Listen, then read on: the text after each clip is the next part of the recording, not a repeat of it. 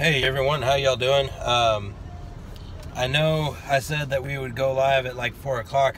Obviously, it's almost 5. Had a little bit more done in my yard than I anticipated, thanks to this guy right here. Uh, one of my buddies, David, me and him, we work for the same school district, and he was kind enough to help me out, so we got a lot more done than I thought we would. So y'all just bear with me. We'll be going live here uh, probably within the hour. Uh, can't wait to hear from you. We'll definitely answer those questions. We'll talk to y'all later. Y'all take care.